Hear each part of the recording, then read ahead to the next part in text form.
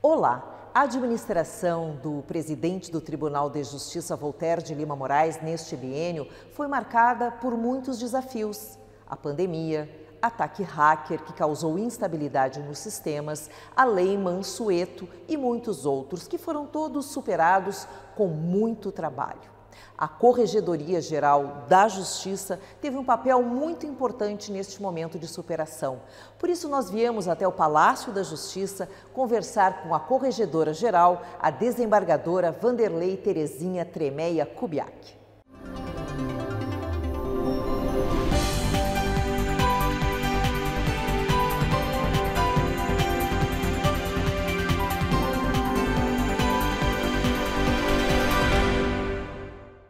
A administração do TJRS passou por momentos delicados, difíceis durante este biênio, né? Além da pandemia, a questão de ataque hacker causando instabilidade a todo o sistema, também a lei, o plano Mansueto, mas todos esses desafios foram vencidos pelo Judiciário do Rio Grande do Sul, entregando à comunidade um trabalho com muita seriedade. E nós viemos também conversar hoje com a Corregedora-Geral da Justiça, desembargadora Vanderlei Terezinha Tremeia Kubiak, que teve um papel fundamental neste ano de grandes desafios.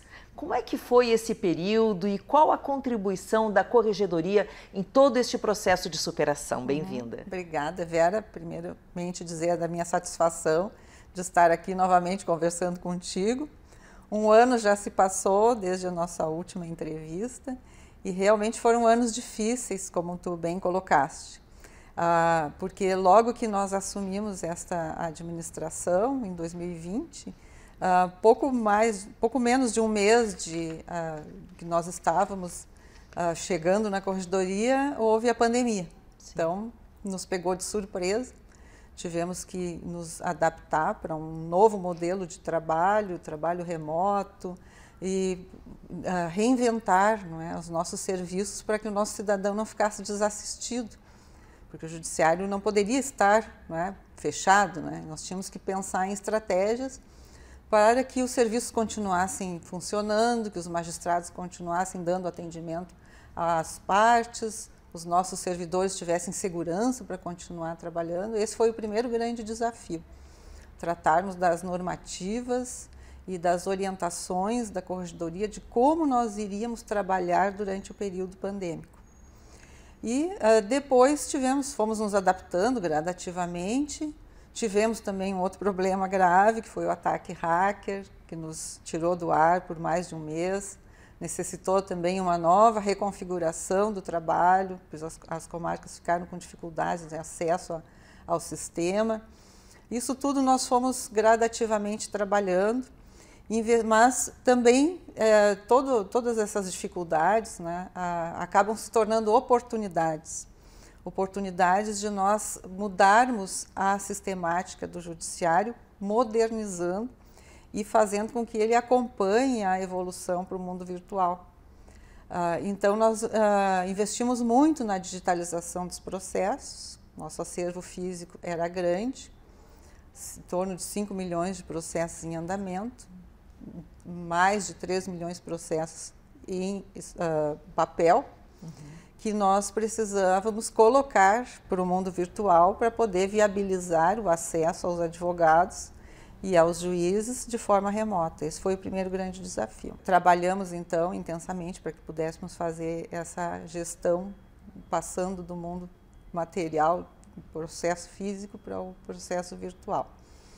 E fomos adaptando a, as nossas unidades, né, trazendo novas tecnologias, audiências virtuais que até há pouco tempo não se pensava né, acabaram agilizando o processo, porque o que, que acontecia uh, antes deste mundo virtual? Quando o juiz precisava ouvir uma testemunha residente fora da comarca, eles pediam uma carta precatória para que outro juiz de outra comarca chamasse a testemunha ao fórum para ela ser ouvida e depois encaminhava ao juiz do processo o depoimento. Sim. Hoje nós podemos fazer isso de forma instantânea. Né? O juiz pode ouvir uma testemunha que resida em qualquer lugar, inclusive no exterior. Que isso agiliza o andamento do processo, facilita a vida de todos, né? dá mais conforto, porque os próprios profissionais do direito, os advogados ou membros do Ministério Público, Defensoria Pública, podem fazer a audiência de onde eles estiverem. Então, essa foi uma facilidade que acredito que veio para ficar, porque a tendência, me parece, é que as audiências passem a ter um conteúdo misto, híbrido, tanto presencial para quem quer estar presencialmente ou para quem não dispõe dos meios tecnológicos, poder ir ao fórum, à presença do juiz, ou permanecer ah, no seu local de trabalho, onde estiver, fazendo a audiência de forma remota. Então, essa foi uma grande conquista também, a agilização desses atos processuais sem necessidade de grandes deslocamentos. Essa é uma tendência que se percebe justamente Sim. pelo contato com os demais operadores do direito, uma tendência que veio para ficar porque uh, realmente, como eu coloquei, é algo que veio para facilitar o acesso ao judiciário. Também nós criamos durante esse período algumas estruturas uh, virtuais de atendimento.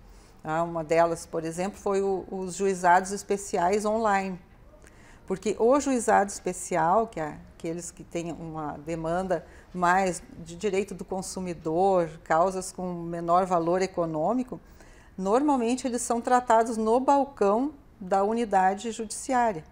Como os fóruns não estavam abertos para a população, tivemos que criar uma via alternativa para o nosso cidadão poder chegar ao balcão. Né? Então, isso foi feito através do juizado cidadão, juizado especial online. Foi criada na página da internet um ícone ali, onde o, qualquer pessoa que tem interesse em demandar nos juizados especiais possa fazer a sua solicitação online, sem sair de casa, em qualquer momento do, do dia, que vai ter, então, designada uma audiência de conciliação para poder tratar aquela questão, e se não houver acordo, então o processo seguir. Perfeito. E também outras estruturas uh, no âmbito dos métodos autocompositivos, por exemplo, o SEJUSC do Cidadão Online, né? o SEJUSC é o Centro Judiciário de Solução de Conflitos e Cidadania, que ele é uma estrutura criada para atender demandas de qualquer cidadão, uh, em qualquer área, né? pode ser de família, pode ser consumidor, enfim, qualquer situação que o, o, cidadão queira chamar alguém para um acordo, para uma conversa, uhum. para uma mediação ou uma conciliação, é o Sejusc a porta. Então, uh, criou-se o Sejusc do Cidadão Online, que atende todo o estado do Rio Grande do Sul, em especial aquelas uh, comarcas onde não há o Sejusc instalado, e recebe pedidos dos mais variados, são atendidos por conciliadores, uhum. mediadores, e existe um juiz coordenador, que é o Dr. Marcelo Malícia Cabral, que ele é juiz coordenador do Sejusc de Pelotas e também ficou designado para coordenar o Sejusc do Cidadão Online. Uhum. E ali são realizados, foram realizados nesse período, muitas sessões de mediação e conciliação, obtivemos grandes acordos. E uma outra alternativa criada também foi o Sejusc Virtual Empresarial, para atender às necessidades das empresas que tivessem alguma dificuldade financeira, uhum. evitando que entrassem em recuperação judicial ou falência, um espaço para que o, o empresário pudesse vir ali e chamar todos os credores para uma ampla negociação. Inclusive, tivemos uma, grande negociação feita entre o município de Porto Alegre, as empresas de ônibus, que foram realizadas várias sessões de mediação até que se conseguiu chegar a um acordo uhum. para que não fosse interrompido o serviço de transporte na capital. A senhora citou os métodos autocompositivos né, para a resolução de muitos conflitos de uma forma menos traumática e também muito mais célere. gostaria que a senhora nos falasse a respeito da importância dos métodos autocompositivos para o Judiciário Gaúcho. Nós investimos muito nos métodos autocompositivos porque acreditamos que é um exercício de democracia. É um espaço onde o cidadão pode né, ter a oportunidade de falar como ele gostaria que aquele caso fosse decidido. Sim. Né? Porque pelos meios normais, o meio tradicional do processo, né? uma vez que o processo ingressa na justiça, quem vai dar a solução é o juiz. Né? No caso dos, dos métodos autocompositivos, se abre um espaço de diálogo para todos os interessados naquela causa, mesmo que eles não sejam parte no processo, podem contribuir para que se chegue a uma solução que seja boa para todos. Uhum. Todos têm voz, todos podem expressar suas necessidades, seus desejos em relação àquela causa e se chegar numa solução que seja adequada, claro. a, a, mais adequada para todos. Até então, minimiza conflitos muitas vezes entre as partes. Exatamente, o propósito é esse, é filtrar, diminuir a, a judicialização, a excessiva judicialização, uhum. Dar ao nosso cidadão mais autonomia para participar das decisões e com isso gera também uma responsabilidade de cumprimento daquilo que ele se obrigou ali naquela uhum. sessão, é? naquele entendimento, e trazer mais harmonia entre o, o, a, os envolvidos, porque se, se trabalha muito a autocomposição, em especial naquelas situações em que as pessoas vão continuar convivendo. Né? Um processo judicial às vezes rompe as relações de uma Sim. forma definitiva. Ah, quando o juiz dá uma sentença, ah, às vezes as pessoas acabam ah, tendo que conviver, mas em desarmonia. Perfeito. Porque ela não gera uma harmonia. Então, a, a, isso se consegue com a autocomposição, porque no momento é o objetivo maior é harmonizar as relações e retornar à convivência daqueles que estão em conflito. Então, uhum. os casos de família, de vizinhança, os empresariais são totalmente adequados para esses métodos. Corregedora, nesse período de pandemia houve um aumento crescente dos casos de violência doméstica e o Judiciário Gaúcho realizou diversas ações com foco na proteção à mulher. Eu gostaria que a senhora falasse um pouco sobre este assunto. É, nós tivemos também uma grande preocupação em relação a isso, porque ficou demonstrado que, em razão da necessidade de um recolhimento maior das pessoas né, nas suas residências, houve um incremento nos casos de violência doméstica e, inclusive, nós instalamos uma vara específica de feminicídios, uma, uma vara que trabalha só com casos de, de homicídio, homicídio, tentativa de homicídio contra mulheres. Eh, seria bom se nós não precisássemos claro. ter essa vara especializada, mas como é uma matéria importante, que precisa realmente de, uma, de um foco, de uma visão diferenciada, para esses casos e ter toda uma rede de apoio para as mulheres, aquelas vítimas eh, de tentativas de homicídio, né, quando acaba que as, a gravidade das lesões é maior, né, que poderia colocar a pessoa em, em risco de morte, é, precisa toda uma rede, todo um acolhimento e um atendimento diferente para essas vítimas. Então, se preocupou em relação a isso, para criar essa estrutura.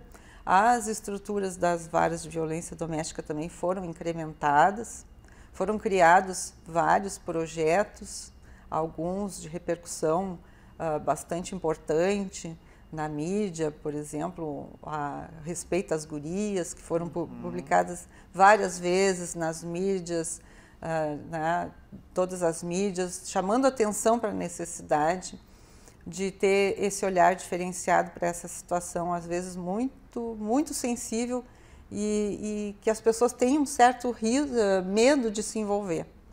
Né? Mas ah, também a adesão à, aquela da, da, máscara roxa, né? outros, outras séries de projetos que foram criados para auxiliar as vítimas de violência doméstica nesse período. Perfeito.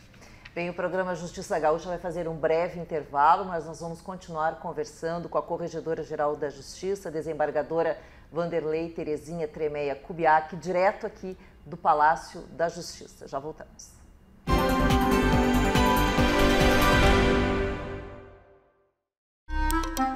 Que acontece com a pessoa que coloca em risco a saúde e a vida do idoso? TJRS responde. Expor os idosos a condições degradantes, privados de alimentação e de cuidados, é crime e as penas são variadas. Se o idoso morrer por causa dos maus tratos, o agressor pode ser preso.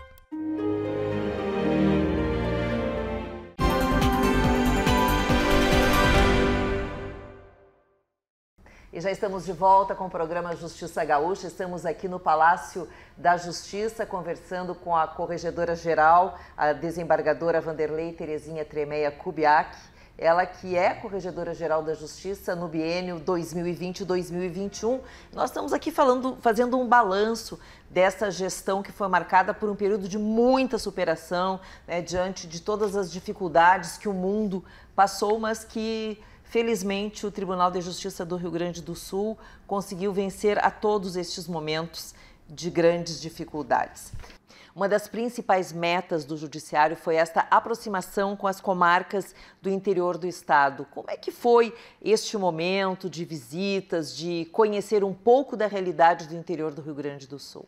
É, esse era um projeto importante da Corregedoria de aproximação da administração com as comarcas, com as comunidades, para que nós pudéssemos uh, fazer essas visitas e conversar com os juízes, com os servidores, com o Ministério Público, Defensoria Pública, advogados, os prefeitos, vereadores, a né, imprensa local, para verificar quais são as necessidades daquela região específica, né? para que a ideia seria levantar as necessidades para que nós pudéssemos prestar um melhor serviço. Então, o objetivo dessas visitas era justamente esse: ouvir a comunidade, ouvir o que estava funcionando, colher as boas práticas para disseminar em outras regiões, estabelecer essa interlocução que é muito importante. Claro que nós fomos privados disso num primeiro momento, em função da pandemia, mas assim que nós uh, conseguimos já sair, passamos a fazer essas visitas, visitamos várias comarcas, tivemos uma excelente experiência, que a partir daí pudemos levantar uma série de, de necessidades e fazer as melhorias necessárias, uh, ouvir também as queixas, reclamações, enfim, toda essa. Acho que é importante esse contato direto, porque cada região tem a sua peculiaridade, Sim. as suas necessidades e, a, e as suas vantagens. Então, isso foi importante para ter uma visão panorâmica do Estado, para saber como agir em cada situação. E também tivemos a oportunidade de inaugurar vários novos fóruns, instalar novas unidades, e nós nos preocupamos muito com a questão das varas criminais, porque é uma realidade no nosso estado que houve um período de crescente criminalidade, felizmente os índices já estão mostrando que isso está sendo modificado, mas nós acompanhamos aqui no âmbito da corregedoria, nós temos uma coordenadoria criminal que foi criada também nessa gestão, dada a necessidade de ter também um, um olhar mais uh, apurado para essa questão da criminalidade, da segurança pública e o judiciário também tem uma parcela de responsabilidade nisso, na medida em que nós julgamos né, os crimes. E temos que saber onde, ah, em que locais há necessidade de, de incrementar as unidades judiciárias com competência criminal. Então, nós acompanhamos durante esse biênio os, ah, as reuniões do programa RS Seguro, do governo do Estado, e ali há todo um estudo, um mapeamento de quais são as cidades mais violentas do estado. Então, nestas cidades, nós incrementamos as unidades com competência criminal, para poder também dar essa contribuição, na medida em que esse programa uh, verificou que 80% da criminalidade do Estado está restrita a esses 25 municípios. Uhum. Então, a nossa contribuição para a diminuição da criminalidade e para um atendimento mais célere aos processos criminais, que resulta, consequentemente, em benefício da, da, da segurança pública, né? Uh, foi criar unidades com competência criminal, ampliar as unidades com competência criminal nessas cidades, dentre elas a região da Serra, a Caxias do Sul, que tem uma alta, alto índice de criminalidade, a comarca de Alvorada também recebeu, Capão da Canoa, o litoral, é uma das regiões também que tem um incremento na criminalidade, em especial na, na, na no momento de, de veraneio, né, que muitas pessoas vão para lá. Então, nós fizemos esse mapeamento uh, e, uh, assim, fazendo uma política de alinhamento com o governo do estado, nós procuramos instalar unidades que correspondessem a, a esses municípios mais violentos. A superlotação dos presídios é uma realidade em todo o Brasil. Como é que foi o trabalho realizado por este grupo de monitoramento e fiscalização do sistema carcerário, as ações desenvolvidas pelo grupo? É, o período da pandemia também nos obrigou a tomar iniciativas diferenciadas em relação ao sistema prisional e foi importante a interlocução entre todas as instituições do sistema carcerário. Tá? Então nós tivemos, criamos um grupo interinstitucional onde participava a Secretaria de Administração Penitenciária, SUSEP, Ministério Público, Defensoria Pública, Ordem dos Advogados do Brasil, para que nós pudéssemos pensar de uma forma mais macro como trabalhar a questão penitenciária no âmbito da pandemia porque a gravidade de ter uma contaminação generalizada dentro de uma casa prisional, onde as pessoas estão privadas de liberdade, era um risco muito grande. Então, nós tomamos muitas cautelas, foram feitos muitos acordos, a, a, promovidas medidas para que tivessem todo aquele preso tivesse um período de isolamento antes dele ser colocado no sistema. Foi uma gestão feita entre todas as instituições e isso foi muito positivo e que demonstra né, que a importância de, de, das instituições agirem conjuntamente Perfeito. em prol de, de, uma segurança pública, porque a, a, contaminação de um presídio não é só restrita àqueles que estão privados de liberdade, mas tem todo o servidor público que atua nos presídios, os familiares também daquelas pessoas encarceradas que também transitam nesse sistema né, e que podem disseminar claro. o vírus. Então, isso foi feito de uma forma muito cautelosa e controlada. E uma outra importância que teve o GMF nesse período foi a, destinação das verbas das penas pecuniárias, que os juízes das execuções penais eles são gestores dessas verbas. Então, quando a, o juiz fixa uma pena alternativa, como um pagamento de, de algum valor, esse valor fica num, num, num fundo uh, que é administrado pelos magistrados que têm a competência da vara das execuções penais. Nós destinamos desses fundos 17 milhões para instituições de saúde, para Santa Casa de Misericórdia, para várias, para URGS, para confecção de máscaras, para doação para uh, hospitais. Então, foi toda uma mobilização dos magistrados que atuam nessa área da execução penal e integram o GMF, uhum. para também possibilitar que fossem comprados respiradores, fossem ampliados leitos em hospitais municipais. Então, foi um grande movimento que o GMF fez no sentido de auxiliar no combate à pandemia e também preservar a integridade, a vida dos, daquelas pessoas encarceradas. Muitos idosos se tornaram, neste período principalmente de pandemia, como responsáveis pela questão financeira das famílias. Como é que a Coordenadoria Estadual do Idoso trabalhou para garantir os direitos e também proteger a estes idosos? A coordenadoria também tem esse, esse viés interinstitucional então, várias instituições integram a coordenadoria e aí tem o papel muito importante da Polícia Civil, da Defensoria Pública, que são os que recebem, num primeiro momento, as denúncias a respeito dos problemas com, com os idosos. Né? E tivemos ah, também na Corregedoria uma preocupação em editar um provimento recomendando a todos os cartórios extrajudiciais que tivessem muito cuidado quando fossem eh, realizados atos por pessoas idosas, porque a gente sabe que uma das maiores violências cometidas contra o idoso é a violência patrimonial. Sim. Então, o idoso, muitas vezes premido pelas necessidades familiares, ele é levado a praticar atos da vida civil disponibilizando seus bens para terceiros ou às vezes procurações para que os terceiros possam gerir ah, o seu patrimônio e com isso eles acabam sendo muito prejudicados financeiramente.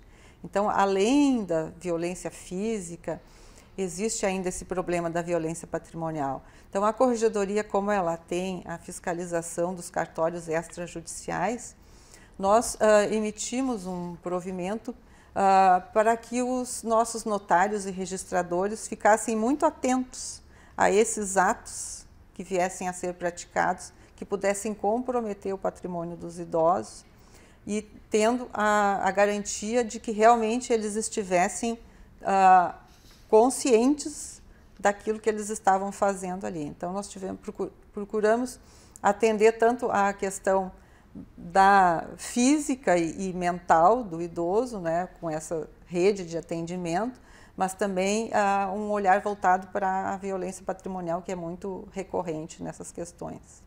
Bem, a desembargadora Iris Helena, então, vai assumir como a primeira mulher presidente do Tribunal de Justiça do Rio Grande do Sul. Como é que a senhora vê esse novo momento, esse futuro do Judiciário Gaúcho, as perspectivas para o novo biênio? É, eu vejo como um avanço e uma grande conquista, porque a desembargadora Iris Helena será a primeira mulher presidente do Tribunal de Justiça. Então, já é um, algo, um momento histórico. Né? Uma primeira mulher, ela é uma desbravadora, ela foi a primeira corregedora geral de justiça também. Então, ela abre caminho para outras mulheres virem a assumir esses postos de destaque, né? E o judiciário sempre teve esse viés mais conservador, né? então é uma quebra de paradigma no primeiro momento. É uma mulher atuante, ela é muito ativa, tenho certeza que vai fazer uma excelente gestão, vai dar continuidade a todas as inovações que foram iniciadas aqui na administração do desembargador Voltaire. Nós temos uma grande expectativa em relação ao próximo biênio. E qual o seu futuro dentro do Judiciário do Rio Grande do Sul, uma vez que a senhora está concluindo com muito êxito estes dois anos de muito trabalho à frente da Corregedoria Geral da Justiça? É, eu posso dizer que essa experiência na Corregedoria Geral de Justiça foi uma experiência ímpar, marcante, com certeza não será esquecida tão facilmente, porque eu sempre brinco, eu não conhecia a Corregedoria em tempos normais. Então, a memória que eu terei da corregedoria é de uma corregedoria em tempo de pandemia. De superação. E de, de, superação de grandes desafios. Felizmente, temos uma equipe muito boa, excelente de servidores e juízes corregedores que compõem os quadros da corregedoria. Então, nós temos um trabalho bastante eh, de, de excelência, porque temos um quadro muito bom, pessoas muito comprometidas.